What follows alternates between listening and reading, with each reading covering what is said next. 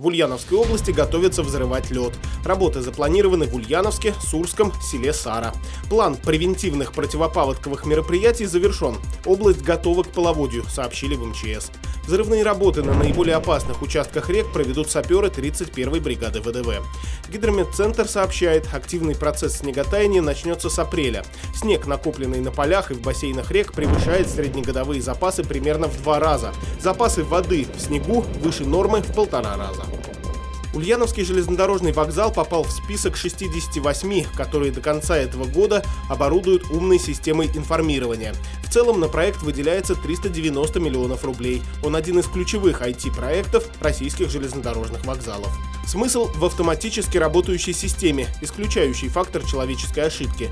Данные о движении поездов автоматически выводятся на табло и дублируются по громкой связи.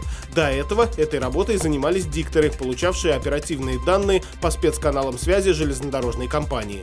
После внедрения системы за дикторами останется оповещение об экстренных изменениях в графике движения поездов. 24 памятника отремонтируют в Ульяновске ко Дню Победы, еще 20 до конца года. Кроме капитального ремонта монументы ждет очистка и покраска, если это необходимо. В планах администрации города на этот год провести полную инвентаризацию памятных сооружений, ансамблей, мемориальных табличек и памятных знаков, установленных в честь победы в Великой Отечественной войне. К концу апреля чиновники обязуются придать подобающий вид площади 30-летия Победы.